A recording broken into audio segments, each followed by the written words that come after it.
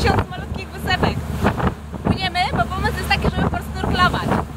Mam dla Gai malutkie okularki i skrzydełka. Dla siebie mam trochę większe okularki, rurkę. Czuję się w ogóle jakbym brał udział w Piratach z Karaibów. Jak w filmie. Po prostu wow, magiczne miejsca.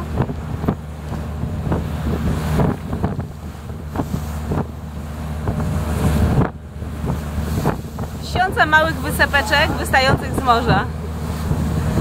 Takich skalistych, że jeju. W ogóle, juhu! Myślę, że jest mega ta wspinaczy, mnóstwo wspinaczy jest w okolicy.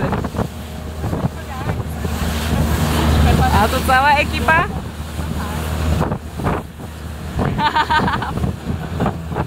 Pan szef tego przedsięwzięcia? Gajka w środku sobie przycupnęła.